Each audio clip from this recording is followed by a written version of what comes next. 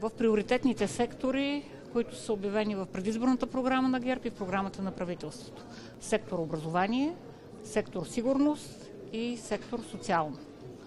В сектор образование се предвиждат около 330 милиона допълнително за увеличение на заплатите, поредния, поредното увеличение на заплатите на учителите.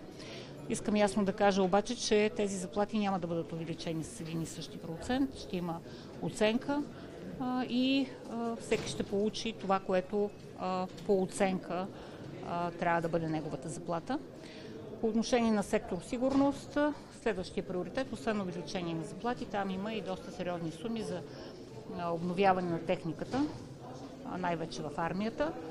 А, в социалния сектор имаме над 1 милиард допълнителни от сравнено с тази година разходи, които са насочени към пенсии, към здравеопазване и към социални услуги и социално подпомагане.